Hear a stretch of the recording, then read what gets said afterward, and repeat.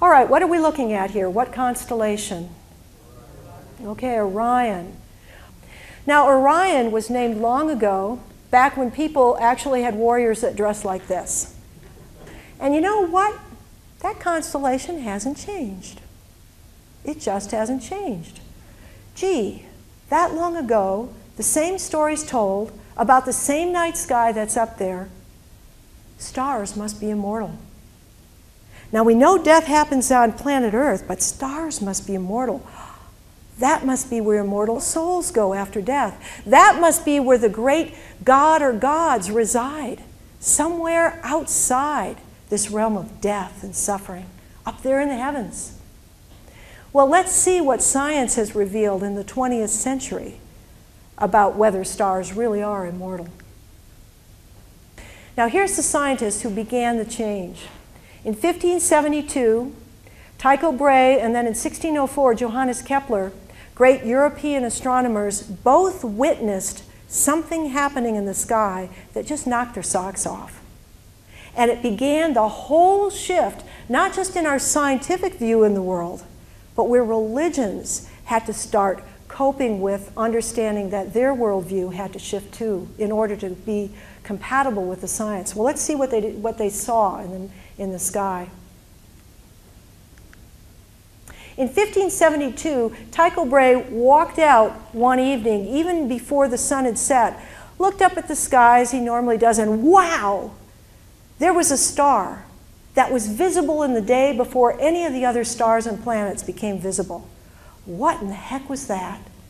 And then when night fell and he could still see this star so much brighter than any of the other stars and planets, he could see that it resided in a part of the night sky where no star had ever been documented before. He called it a nova, nova meaning birth, star birth. We now know that it signified star death. The new star outshined all other stars in brightness and was even visible during daylight. Now, he could not believe this because it completely conflicted with his worldview of the perfection of the heavens, immortality in the heavens. Here's what he wrote about it afterwards. When I had satisfied myself that no star of that kind had ever shone forth before, I was led into such perplexity by the unbelievability of the thing that I began to doubt the faith of my own eyes.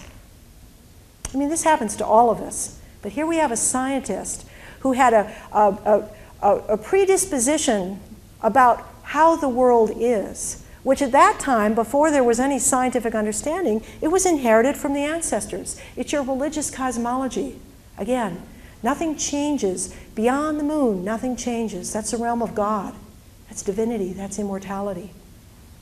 Now, look what happened. As a scientist, he decided to measure parallax, and that is the star stayed bright for a while, and as the Earth traveled around the sun, he could measure exactly where that star was relative to the other stars, and then later on, when the Earth had changed its position in, in orbit, measured it again and found, found that there was no shift.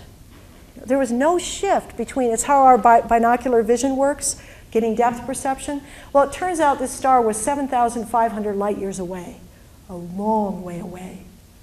So there was no shifting that went on. That meant it was in the realm of the, of, of the heavens, of immortality, where God resided, in the realm of the fixed stars. This new star is located neither below the moon nor in the orbits of the seven wanderers, but in the eighth sphere among the other fixed stars. Seven wanderers, Planets mean wanderer. These were stars, planets, Jupiter, Saturn, Venus, Mars. These were wandering stars. We had no idea Earth was a planet. We had no idea Earth was a wandering star, too.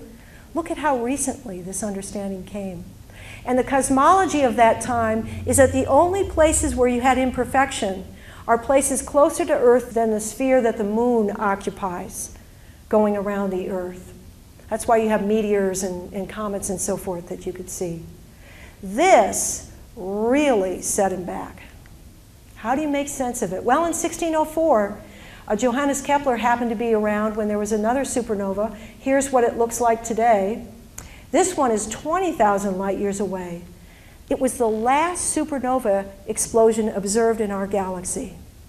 On average, scientists say in our Milky Way galaxy, about one elder star every century will go supernova. And for a period of time, become brighter than any of the stars we could see in the night sky. Now, there was a supernova in 1987 uh, seen by an astronomer in the southern hemisphere, noticed just like Tycho Brahe right when he walked out at dusk. But it happened in, in a nearby dwarf galaxy, the Large Magellanic Cloud. We haven't had one in our own Milky Way uh, since the time of Kepler. A little overdue. So let's take another look at Orion the Hunter with this new understanding that stars do die. The dinosaurs never saw any of those stars.